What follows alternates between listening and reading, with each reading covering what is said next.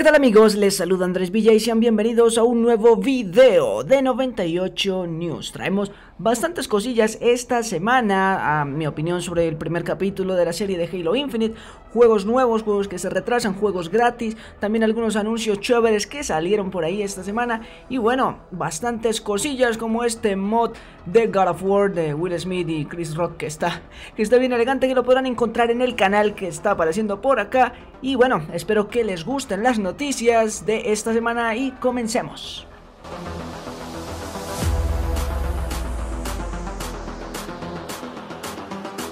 Empezamos con noticias no tan buenas, puesto que esta semana tuvimos la confirmación del retraso de la secuela de Legend of Zelda Breath of the Wild, que ya tenía Nintendo programada para este año junto con Bayonetta y otros títulos muy potentes, sin embargo pues ya confirmaron su retraso para el próximo año. También tuvimos la confirmación del retraso de el juego del Escuadrón Suicida, que ese sí pues no se veía tan probable que saliera este año. Hablando ahora de la serie de Halo de Paramount Plus, podemos decir que ya está siendo un éxito. El primer capítulo de la serie fue el episodio con mayor audiencia de esta plataforma en lo que pues lleva de vida, con algo más de 5.6 millones de espectadores, lo cual está genial.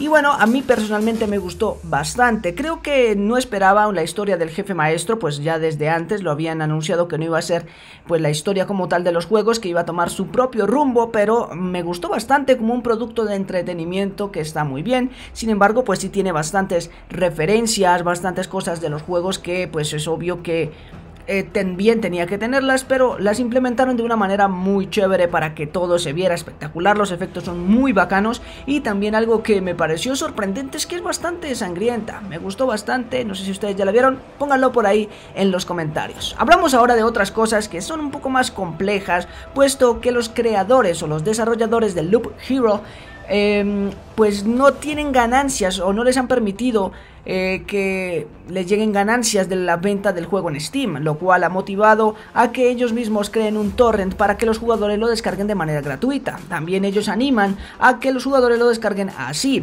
Algunos pues le han enviado donaciones a ellos, aunque bueno, ellos dicen que no es tan necesario y que bueno, van a sacar incluso actualizaciones gratuitas de este juego. Ya sabemos que está complicada la situación en Rusia y la cosa y bueno, el estudio es de allá, por razón por la cual pues no le llegan los pagos de Steam ni tampoco los de Nintendo. El juego tampoco está para PlayStation o Xbox todavía, así que bueno, habrá que esperar a ver cómo solucionan esto porque sí está complicado y ellos pues no tienen la culpa.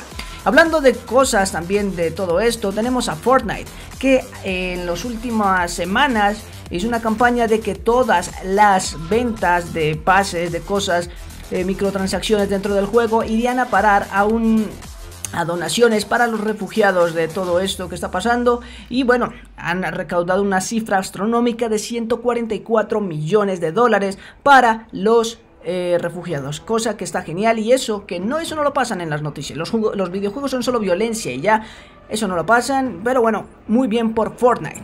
Otro al que pues no le fue muy bien fue a Fast and Furious Crossroads, un juego que se veía regular desde el principio y yo creo que uno de los errores de este tipo de juegos es lanzarse a precio, a precio completo cuando el juego pues es que no está tan bien. Si es un juego que no está tan bien y quieres por lo menos tener algo de atención, ponlo más barato. El juego saldrá de em, las tiendas este mes, así que F por Fast and Furious.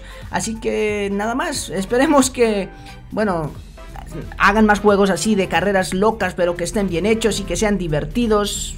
Esperemos que sí, esperemos, esperemos que sí. Y hablando de cosas que están aún peor, maldita sea, es que este año ya pues se confirmó también la cancelación del E3 2022. Se esperaba que volviera con todo el power este año, pero pues parece que ya será en 2023, donde han dicho que ya el evento será presencial, aunque bueno, yo creo que este año Igual los estudios o las empresas como tal harán sus propios eventos para promocionar los juegos que vayan a sacar, que es lo más probable, como Microsoft o PlayStation seguramente, porque PlayStation no ha anunciado mucha cosa últimamente, así que yo creo que harán sus eventos también, sus State of Play. También tenemos... Eh, Cositas, más cositas de PlayStation con Vampire the Masquerade Bloodhound que anunció su fecha de lanzamiento para PC y PlayStation 5 el próximo 27 de abril. Un juego free to play, un Battle Royale de vampiros, pues eh, ahí está, ahí está el juego ese.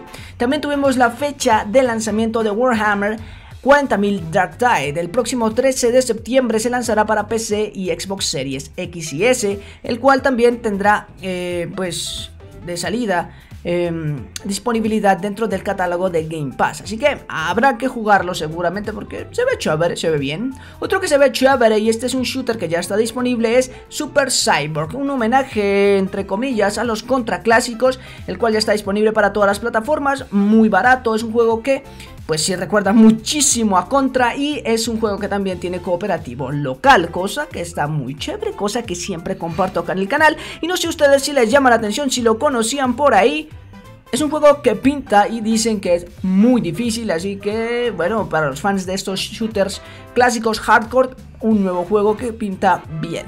También tenemos a Nobody Saves the World, el cual se lanzará en PlayStation y Nintendo Switch el próximo 14 de abril. También tendrá una actualización que incluirá modo cooperativo local. El modo cooperativo local que no estaba de lanzamiento, recordando que este juego ya estaba en PC y Xbox, incluido también en Game Pass. Así que otro juego con cooperativo local que ha recibido muy buenas críticas, que es de los desarrolladores, de los creadores de Guacamele. Así que, bueno, Ahí está otro título que también llegará a Play y Nintendo Switch.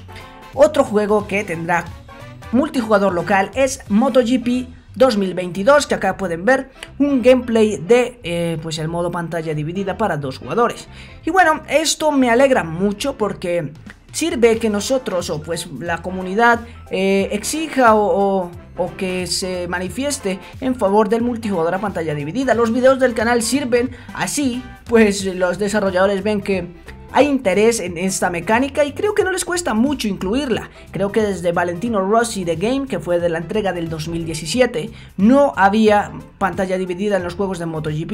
Y Milestone, bueno, lo consideró otra vez incluir y me parece epicardo. La verdad es que veo aquí el gameplay y me da muchas ganas de jugar este juego con los compas. Eso está súper bien. Otro que también está súper genial es Lost Judgment, un juego que no había jugado antes porque quería pasarme primero la anterior entrega para estar en condiciones y la verdad que mejora muchas cosas de lo que ofrecía la primera entrega que ya era súper genial, pero habían cosas que no estaban tan bien. También estrenó en estos días The Kaito Files, un DLC donde controlaremos a Kaito, el mamadísimo compa de este juego, que también expande la historia de este título que está genial.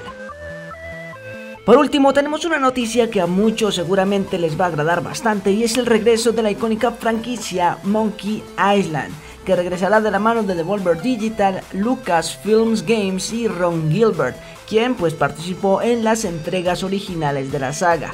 El juego se espera para este 2022, ya se anunció para este año, así que muy genial para los fans de esta aventura gráfica clásica que regresa con una nueva entrega, así que está muy genial hablando de regresos, que esta semana estuvimos subiendo un video del tema, por ahí en el canal lo pueden encontrar, así que otro regreso épico de una franquicia muy clásica.